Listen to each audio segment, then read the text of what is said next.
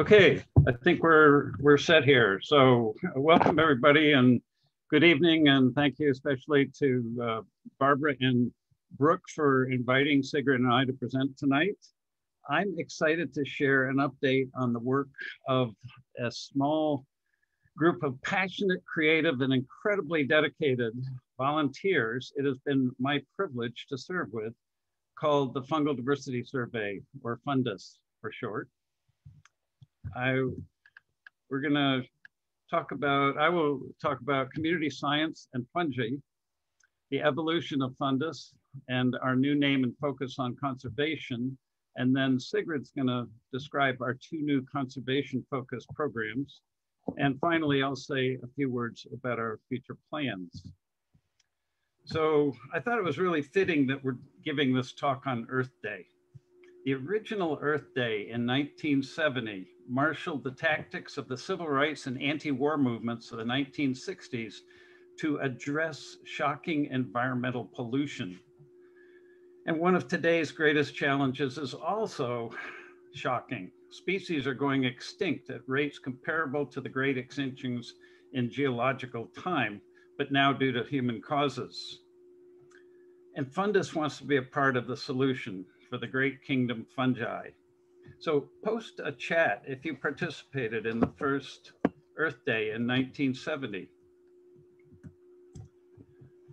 So FunDiS is, our mission is to increase, increase scientific knowledge and public awareness of the critical role of fungi in the health of our ecosystems and to better utilize and protect them in a world of rapid climate change and habitat loss. And we do this by equipping community scientists working with professional mycologists with the reporting tools to document the diversity and distribution of fungi across North America. So what is this community science? We're a community science project. It simply means scientific research conducted in whole or in part by volunteer non-professional scientists. But community science is, is a movement that's exploded in the last decade or two in many fields of science, due largely to widely available technology that allows volunteers to record and share data, like mobile phones and the internet. And it's especially suited, and I would say needed, for tasks that are labor intensive and geographically dispersed, like documenting fungal diversity, which we're here to talk about. So historically, all mycology was done by amateurs. But more recently, there, a grassroots movement has been growing among millennials and younger folks that focuses on applied human focused aspects of mycology, sometimes called DIY or do it yourself. And much of this interest can be traced to Paul Stamets, whose 28, 2008 TED Talk has been viewed at least 7 million times. And people in this community are heavy users of social media, especially Facebook and Instagram, which I'll mention in a moment.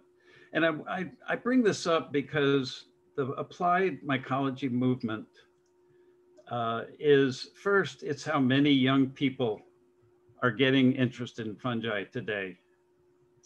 Uh, second, the conservation mycology, which is what we're talking about tonight, is a new applied field. And finally, if there's any hope for documenting fungal diversity at the scale needed, we're going to need all hands on deck. So NAMA played an important early role, as Brooke mentioned earlier, uh, in the community science of fungal diversity with the voucher collection project. And this project documented and stored thousands of voucher specimens at the Field Museum from at least 22 national forays over more than two decades as shown in this map. And it was ably led during most of that period by Patrick Leacock, shown here, and is now led by Andy Wilson in Denver. So Facebook and Instagram provide valuable social connection and help with mushroom identification for hundreds of thousands of mycophiles. But FunDiS uses iNaturalist and Mushroom Observer because unlike social media platforms, photos and metadata uploaded to iNat and MO, as we call them, are data-based, which means that they're searchable and therefore usable for scientific research. So how did FunDiS get to where we are today? In 2012, UC Berkeley mycologist Tom Bruns had some leftover grant funds and convened a day-long workshop at Yale University to explore what it would take to create a funga, then called a mycoflora, of North American macrofungi, which are just fungi big enough to see without a microscope. The meeting included both professional and amateur mycologists, the latter organized by NAMA. And Tom Bruns suggested that it would require something like $18 million to hire the academics just to start creating the funga.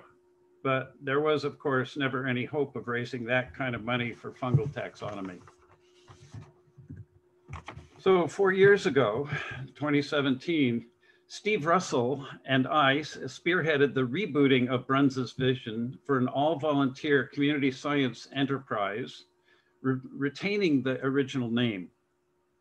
Our focus was on documenting, sequencing, and vouchering fungal specimens.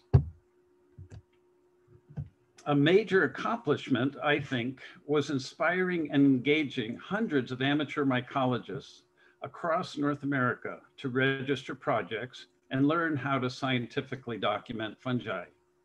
At last count, we have 198 registered projects, and most projects are place-based, and sponsoring organizations are diverse and include clubs, civic, educational, and government organizations, and national parks and nature reserves.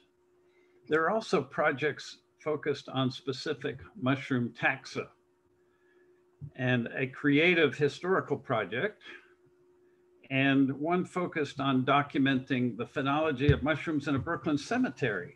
And that project, incidentally, was organized my, by my co-presenter and was written up in the New York Times just last week. So let me hide this thing. There we go. Um, so here's a map of the projects, 198, and they're all across North America from Alaska to Puerto Rico and Greenland to Hawaii. So while we were in NAMP, uh, 600, six, uh, 6,500 specimens were documented and barcoded or sequenced.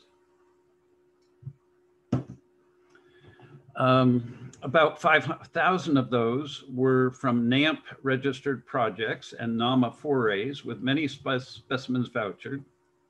Funding for sequencing grants was provided by your organization, NAMA, and MSA, while many other sequences were paid for out of pocket by clubs and project leaders.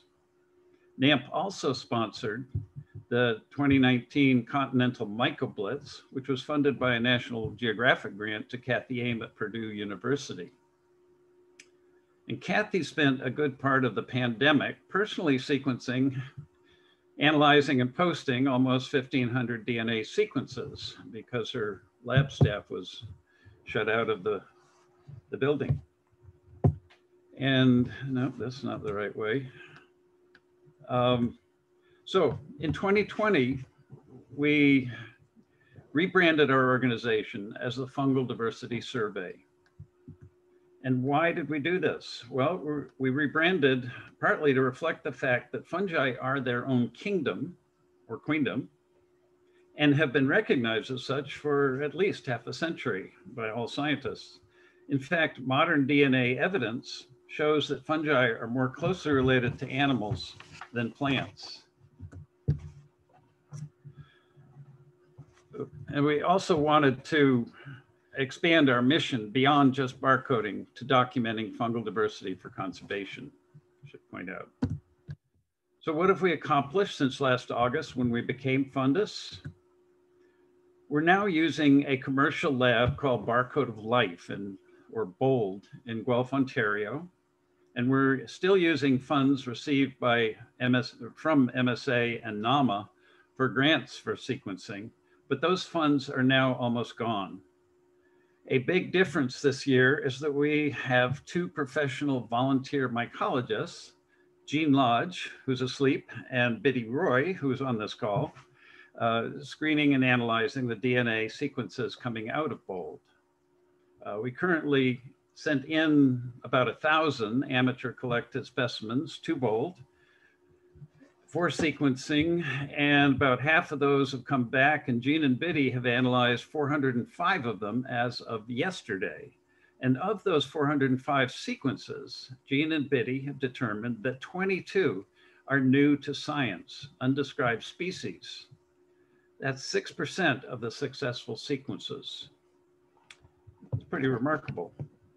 This is a table list of the 22 new species and their collectors, several of whom I see are on this call. Uh, Jean and Bitty have contacted experts for each of these taxa and done some literature research and are confident that these are really new to science pretty exciting. Um, Bitty is going to be available, uh, stay on for the Q&A afterwards. So if you have questions about this, uh, she can perhaps answer them. So these are the, the amateur community scientists who collected these new species. And for my money, this really shows the power of amateurs working with professionals. So there's still a huge amount of work to do after what Bitty and Jean are doing. They're vetting basically and analyzing, but to research the literature and formally describe, name, and publish even a single new species. And actually, only one of the 22 new species you just saw or in that list has gotten to the point, that point so far and that's this Collybiopsis collected by Fred Rhodes near Bellingham, Washington. It's been described and is in press. I'll show you some of the finds so you can get an idea of what these community scientists have found. Here are some of the more colorful new species. And here are some less colorful new species. And here are some really dark new species. This is just uh, a little more than half of the 22. So there's also some more species that are rare, like these two, or, or significant range extensions. So this is what an observation looks like on iNaturalist, this one collected by Steve Ness. Note that iNat has no way of dealing with a species that has not been formally named. So it uses the species name closest to the new species. And in this, as in uh, Hygrocybe af mucronella, which means the af means close to, but it's not the same species. And here's another iNat record for which there is no close sequence in GenBank but it needs more work to determine if it is a new species. This could be a described and named species that just hasn't been sequenced, as are many old spe specimens sitting in Fungaria. So uh, for our next incarnation, FunDiS will focus on fungal conservation. And why fungal conservation because fungi are extremely important to life on Earth. They're overlooked compared with plants and animals, and many are undoubtedly threatened with extinction. The first step in protecting fungi or anything is understanding how important it is. This passage at the beginning of Merlin Sheldrake's book, Entangled Life, eloquently sums it up. He says, Fungi are everywhere, but they are easy to miss. They are inside you and around you. They sustain you and all that you depend on. They are eating rock, making soil, digesting pollutants, nourishing and killing plants, surviving in space, inducing visions, producing food, making medicines, manipulating animal behavior and influencing the composition of the Earth's atmosphere. You know, after reading this, who wouldn't want to protect fungi? So you're probably familiar with how important fungi are for people, both good and bad, especially as food and medicine. And I'm not going to bore you with a list of all the functions that uh, Merlin Sheldrake enumerated and all the functions and uses of fungi. I'll just mention one category, drugs, that highlights what's really the essential nature of fungi as metabolic wizards, as Sheldrake put, puts it. Fungi are metabolic wizards that secrete an amazing diversity of chemicals that we've just barely begun to tap. Penicillium is used as an antibiotic and in cheese production, and now in a third generation contraceptive pill. Well, who knew? Antibiotics are the result of fungi fending off bacteria during hundreds of millions of years of evolution. And we're not sure why psilocybin evolved, but it's proving to be a blockbuster drug in psychiatry. Fungi are also important for the planet because they provide critical ecosystem services. They are the primary decomposers of dead plants, especially trees, that allow nutrients to be recycled. They help the majority of plants obtain nutrients and water, among other services, and they're really important for soil health.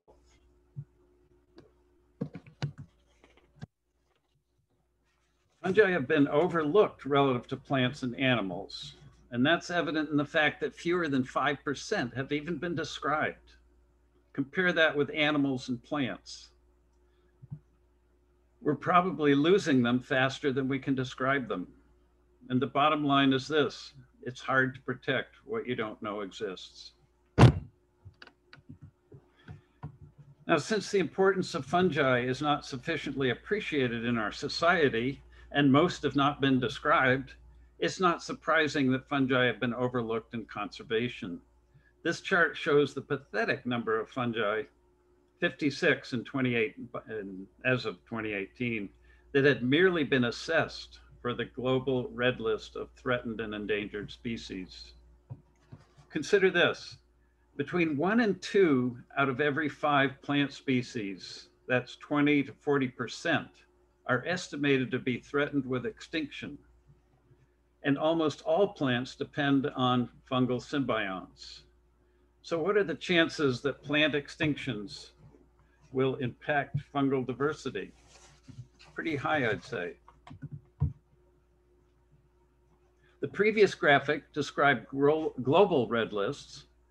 A few countries, especially in Europe, have published country level red lists. Note the absence of a national red list in the United States. Guys, we need to change that. So the third thing is, is that they're threatened. Despite their importance to people and the planet, many fungi undoubtedly are threatened with extinction, even if we don't know all the, we can't have described all the species. And they're threatened by many of the same forces affecting other living organisms. In Europe, where they've done the most research, uh, at least 10% of macrofungi are threatened with extinction, mainly due to changing land use and increasing nitrogen deposition. So the main challenge is lack of data. We lack the minimum information needed to predict the probability of species going extinct. This includes geographic distribution, population size, change in population size over time, and information on threats. The map shows millions of community science observations for one bird species on the eBird platform. It's the gold standard for conservation data, data gathering. I'm not suggesting that we can do this for fungi anytime soon, but it shows the potential of big data and crowdsourcing. But if you know a billionaire who wants to do for fungi what eBird does for birds, please send them our way. the lack of data on fungal diversity and distribution is where community scientists come in. Community mycologists are the only hope for documenting at scale what species occur, where, and when, and how these patterns are changing. So FunDiS's board adopted an ambitious goal and a strategy to address this opportunity. The goal is to mobilize community scientists working with professional mycologists to bring fungi to the conservation table on a par with plants and animals. Our strategy is to spread awareness of the need to protect fungi and give people tools to contribute. So to tell us how FunDiS plans to give people the tools to contribute, I'm going to turn the mic over to my esteemed colleague, Sigrid Jakob. Uh, yes, thank you so much, Bill. Um, so lofty words, lofty words. Um, how do you actually do something about fungal conservation? That's the challenge.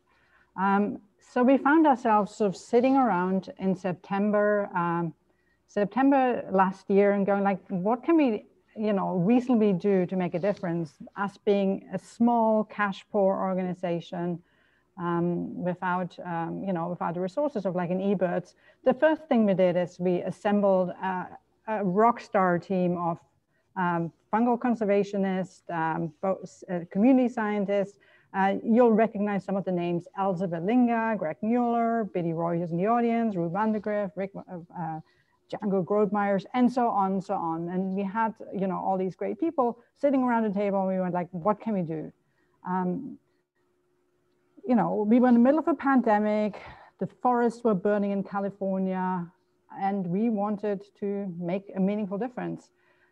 So we looked around and we looked at what some other people had done in fungal conservation in other countries. And one of the projects that we've always really, really liked was the Lost and Found Fungi project in, in the UK. And that was a project that ran, I think, up until last year for five years. Um, and they generated a list of 100 rare species and they engaged community scientists to look for them. Um, some of them were the rediscoveries of species long thought extinct, some were never found, but it was a fascinating project.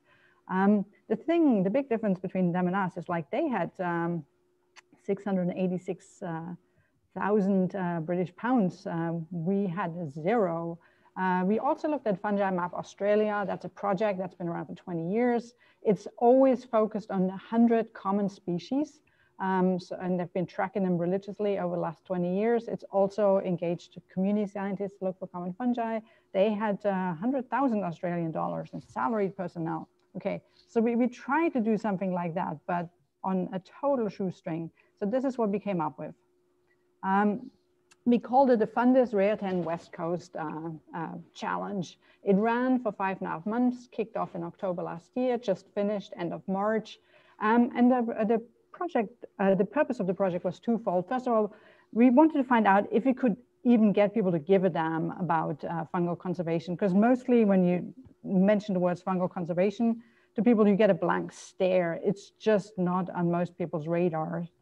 Um, the second thing we wanted to do is like, could we actually engage amateurs to make scientifically, scientifically valuable observations of rare or, red, or threatened fungi and generate valuable distribution data and detailed habitat information to support conservation. It was a pilot because honestly, you need like longitudinal data for that kind of stuff to really make an impact. But the only way to, to find out if this could even work was to let it run for six months and then take a look at it and decide. So it just finished, so we have the benefit of some of the results.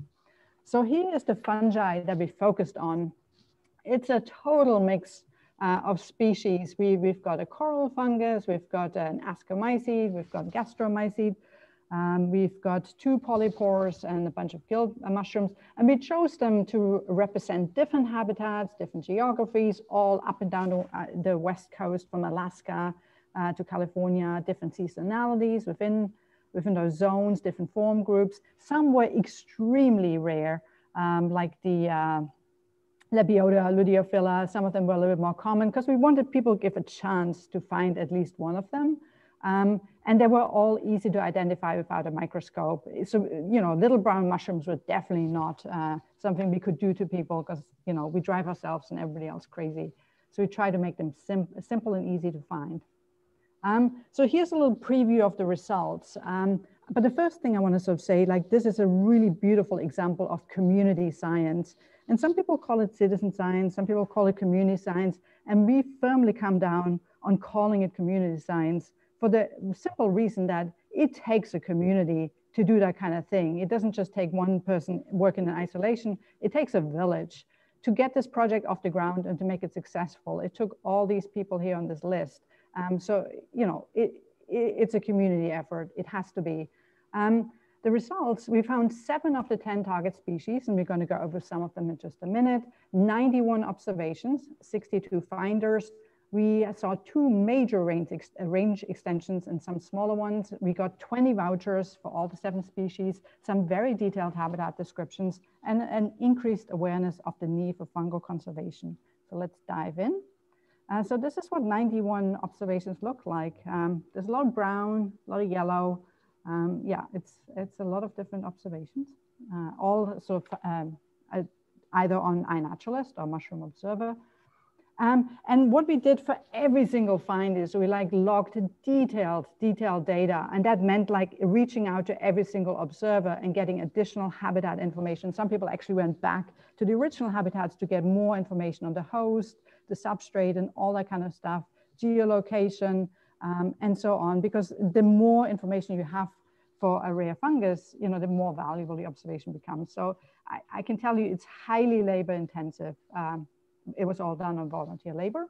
Um, and we piped that data to an organization called NatureServe. And what NatureServe does with this is they uh, share that data with uh, conservation organizations and with land managers. So it gets used, it's valuable data to them. Um, so we didn't find three of the 10 species. And that in itself is also interesting because uh, we knew that hundreds of people were out looking for these and the fact that Lepiota, luteophylla, Ramaria, purpurissima, and Volvariella surrecta weren't found tells us that these mushrooms are indeed quite rare. So it's going to take several years of longitudinal observation to see, you know, if we can find them at all. That's, you know, interesting. Um, so let's talk about some of the things that we did find. And this ugly ass mushroom is called Dictyocephalus attenuatus. It gets like a foot and a half high. It smells of fish it's a mushroom only a mother could love. Um, and uh, it's rare. It usually only gets found in Channel Islands and occasionally in Arizona or maybe Nevada. Um, so somebody actually found it in Wyoming. So that's a massive, massive range extension up to the west, uh, up to the north and up to the east. And the way that that person found it is like they had a property in Wyoming. Uh, Arlen and his wife Katie were driving around and they found this weird thing sticking out of an anthill. And they went like, what the hell is that? And spores came out and they thought like, maybe it's a mushroom. So they shared with a mushroom loving friend.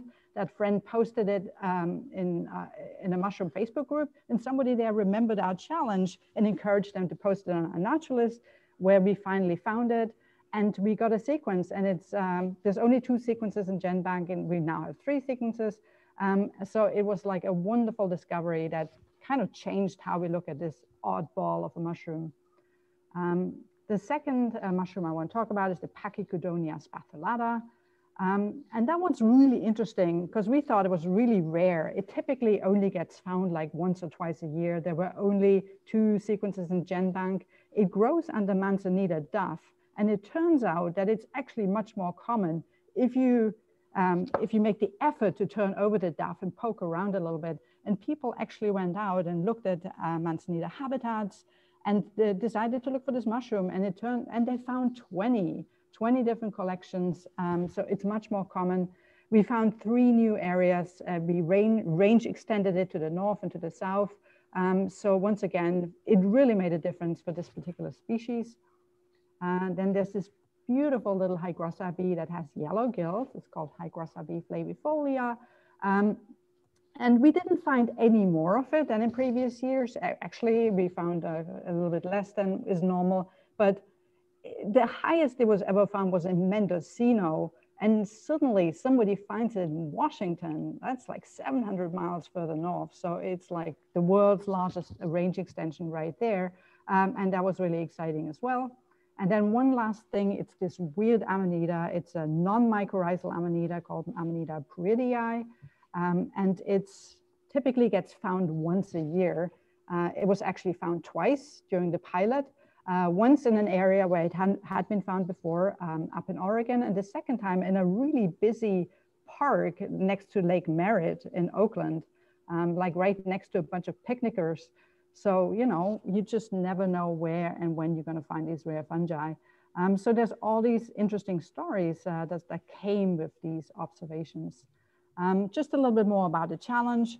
Um, Roo Vandegrift is not just a, a, a well-known mycologist, he's also a beautiful graphic designer. He pulled together these lovely pamphlets that you could print out or you could download onto your phone. Um, Else Vellinga and Bitty Roy wrote very detailed uh, sort of descriptions, some of it quite funny.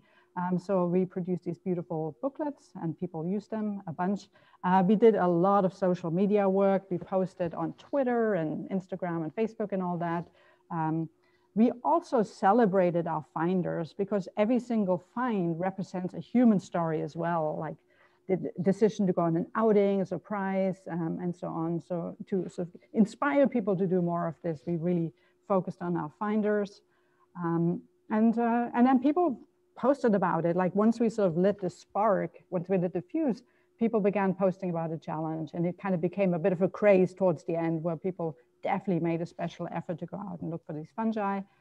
Um, and uh, we did a survey amongst our uh, amongst the challenge participants, uh, the, the people who've actually found fungi, and it, um, you know, we asked them bunches of questions, and one of them was about their age. And it turns out there's a beautiful spectrum of ages. It was very evenly distributed from the very young to the somewhat older. Um, you know, it was geocachers, it was birders, uh, it was, you know, a broad variety of people that contributed uh, their discoveries to the, to the challenge.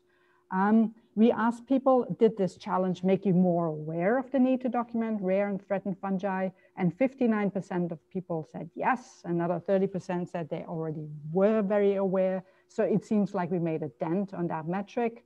Um, we also asked them whether they're a member of a mushroom club and, and just under half of them were. So we were also reaching people who not typically, you know, people who are, you know, members of club, which is which is good because we try to appeal to a broader audience. We didn't just want to sort of speak to the hardcore uh, mycophile. We wanted to bring new people um, into into the fold, and we did outreach into nature societies as well, like uh, native plant societies. So we really tried to make it something that everybody could be looking for and could get involved with. Um, and then finally, we asked them, you know, how interest, interested would you be in participating in another challenge? And the vast majority of people said, yes, absolutely. Um, but we also asked, like, would you be willing to revisit the site? Because longitudinal data is so important. Would you be willing to re revisit the site in, in upcoming years? And 85% uh, want to do that. So we definitely want to sort of encourage people to go back over and over and over again and see if they can document these fungi every year. That's part of our next steps. Um, so was it a success? We think so. We were very happy with the outcome because we had no idea whether this would work or not. A lot of mushroom clubs were on hiatus, so we couldn't get them as engaged as we wanted to. Um, so, you know, uh, the next thing we're going to do is we're going to roll out another challenge in the Northeast. It's going to be 20 species. It's going to start this summer. It's going to last for three to five years, but we might be mixing it up a little bit, adding new fungi. Um, so the details will be revealed very soon, but uh, there's already a bunch of excitement. And there's other people that want to run challenges in Florida and Alaska. So there's, there's a bit of a groundswell of enthusiasm for these challenges because it makes conservation really tangible, it makes it real, and it makes it sort of accessible to the average person. It's not just an abstract concept. Um, so that's one thing we did. And the other thing we did was uh, the Fund, uh, Fungal Diversity Database. And it's a database within a database. It's actually sort of housed within iNaturalist. And uh, let me explain why. Uh, because obviously you could say like, well, iNaturalist and Mushroom Observer are already this amazing database that's got so much great data. It's image rich, it's geotagged, it, it's all this distribution data. It's like eBirds for fungi. And with all these sort of observations, we could unlock new insights about fungi, we could inform environmental impact assessments and so on. So why do you need a database within a database? Uh, the, the reality of these uh, platforms is that not every single observation is great. You know, uh, I wanna say being a sort of frequent user of the platform that maybe half of all observations are poor. They're not, uh, they're misidentified or they're not identified. The picture isn't detailed. They're not showing the underside. They're not showing the volva. Um, the, the mushroom is old, the mushroom is immature, and so on. So it's a mixed bag. Um, what I actually, I don't want to shame anyone. I've done plenty of poor observations myself in my life, but you know, how can we sort of increase the quality within iNaturalist? Um, uh, so that's why we created a special project. It's uh, the iNaturalist fungal diversity database. Um, and the only way to get an observation in there is to do a high quality observation. Uh, when you first uh, join the project, you get instructions on how to make a good observations. We have a triager, the lovely Sam, who will reach out to you if your observations don't pass muster. She'll have um, you know, suggestions for you. Uh, she controls for quality. Um, and it's also a community. It's a community of several hundred people that we can activate around specific causes. If we wanted to look out for specific uh, uh, genus or species, we could activate that sort of uh, community in a heartbeat and they would all go out and look for it. So it's very useful. And We haven't even fully used the powers of that community. So what's in it for the observer though, you ask? You're like, why should anybody contribute? What's the incentive? Well, if you post to this uh, iNat database, um, this iNat project, your uh, observation will be identified as, as much as we can, because obviously some fungi are hard to identify without looking at the spores or without a sequence, um, and potentially commented on by professional mycologists and highly ranked amateur identifiers. Um, but you're also doing a good thing. You're helping scientists and conservationists better understand and protect fungi by adding valuable high quality observations to this database. Um, so that's why, uh, you know, that's the incentive. And that's why I, why I personally add uh, observations to the project. Um, and obviously you could say like every single mushroom should always have a voucher. Why don't you do DNA sequencing on every single mushroom that people find? And the reality is that's just not feasible for most people. There's not enough money, there's not enough time. Um, and a lot of mushrooms are actually identifiable by morphology alone. Um, you know, eBird, you don't always have a voucher with eBird either. That would be unethical. Um, so, you know, a lot of fungi can be re fairly reliably identified, um, and that's what we try to do.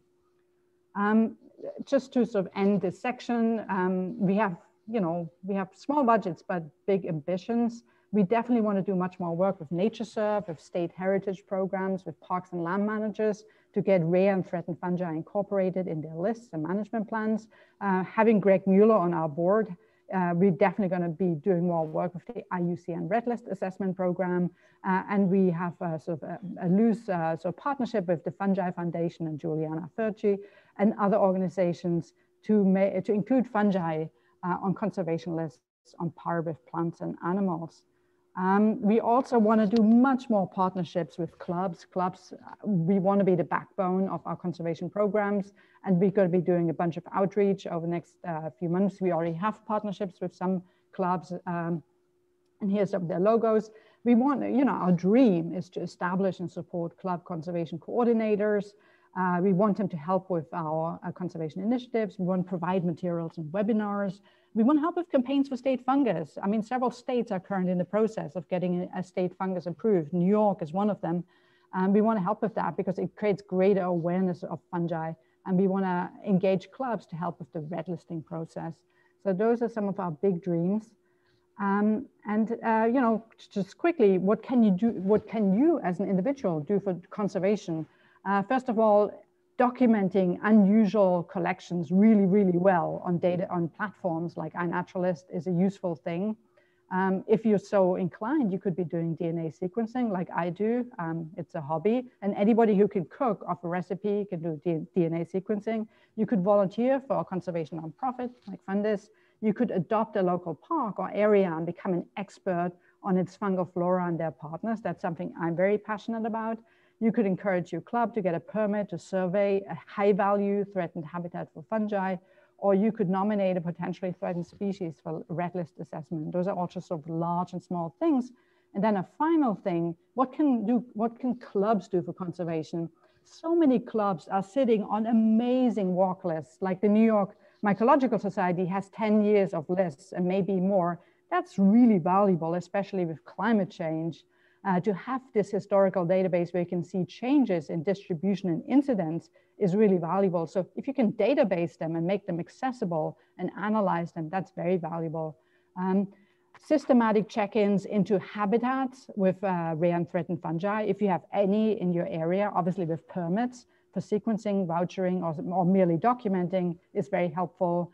Um, participating in iNaturalist and data mining of your of club iNat data is valuable. And then finally, uh, uh, some clubs do uh, sequencing, but they don't necessarily share the results. So making those uh, sequences publicly available is another thing that's helpful for conservation. So those just a few tips. Um, and this is where I'm going to hand it back to Bill, who's going to sort of tell you about the future of, of FunDiS and what we have planned. Okay, are you going to keep the, the screen, Sigrid? Okay. Okay, just to save time, keep it on Sigrid's computer. Thank you, Sigrid. That's great. To wrap up, uh, let's take a quick look at the future of FunDiS. Uh, FunDiS grants and paid general sequencing will continue this year, but new orders will cease to be accepted on April 30th, which is next Friday. Specimens must be received by November 30th, except specimens from grant round four must be in by August 31st, as was made clear when they were given out. You know, we wish we could continue to offer general sequencing for amateurs, but we don't have the resources to do that. To continue offering general sequencing as we have, we probably need fifty to $100,000 uh, for hiring a coordinator and postdocs to do what Gene and Bitty are graciously doing for free right now, uh, among other things, uh, and tracking specimens and sequences. If you know of anybody with that kind of money, please send them our way. In the meantime, FunDiS will target limited funds on sequencing rare, our limited funds on sequencing rare and threatened species and those from threatened habitats. We encourage project leaders to continue adding uh, observations to projects and add them to the diversity database. So next. There you go. Oh, one back. you back up. There. Yeah, that one. Um, so uh, two commercial labs we know of that offer uh, full service for and are used to dealing with amateurs are Matt Gordon in Portland, Oregon, and Pablo Alvarado with Alva Lab in Spain. A lot of uh, amateur mycologists have used both of those over the years, and uh, they're, they do really good work. DIY sequencing, home sequencing, uh, is an option uh, for clubs, perhaps. And this is something that more clubs might want to look into. Check out a document on our website uh, called DIY Barcoding Protocol, and you get some ideas of resources that are out there. And there's, there's usually one or two uh, enthusiastic high-tech people in, in various clubs that, that might uh, be able to do this. So the other thing to know is that the technology of sequencing is constantly changing. And right now there's a lot of development in high throughput sequencing. And this could become something that we could make available in, in the future when it becomes available. We've actually got a trial in progress right now with, with Bold. Uh, they, they're testing eight plates with one of these high throughput machines. So uh, promises dramatically lower costs. And I want to stress again that FunDiS does what we do with volunteers and with more volunteers, we can do a lot more. So under with the rare fungi challenges, we're looking for some uh, somebody to work with FunDiS to coordinate the coordinators and once we find that, and only once we find that, will we be going forward with some of the new rare challenges, like Sigrid mentioned, there's interest in Alaska, Florida, and some other places. But we need volunteers to do the, the pamphlets and put them up on the website. Fungal diversity database, we need more observers, uh, especially in certain parts of the, uh, identifiers rather, in certain parts of the country. Uh, for, to do more with club conservation leaders, we really need a volunteer to, again, be a coordinator of coordinators. And we're always looking for volunteers to, to help with our blog and newsletter, website updating and design, and beyond uh, what Bitty and Jean are doing now with screening DNA sequences, we will, to continue that, we're gonna need to find or and train some people to do that next. So uh, if you want to join our band of volunteers, we would love to have you. Uh, finally, I want to, hang on just one minute. So the ways you can contribute and uh, work with FunDiS include the participating in the programs Sigrid was describing, the diversity database and the rare fungi challenges. And the last slide, I mentioned all, the volunteer positions we would uh, like to find volunteers for. And here's a big one. We know that FunDiS needs to transition to a staffed organization if we're going to achieve our goal of bringing fungus to the conservation table on a par with plants and animals. So if you believe that conserving fungi is important, you can help by helping us raise funds for staffing and enhanced programs. If you have any contacts or ideas, please contact one of us. Next. And finally, I want to acknowledge the hard work of all the incredibly talented and dedicated volunteers who are working now for fungal conservation. Here's some of them. And next questions.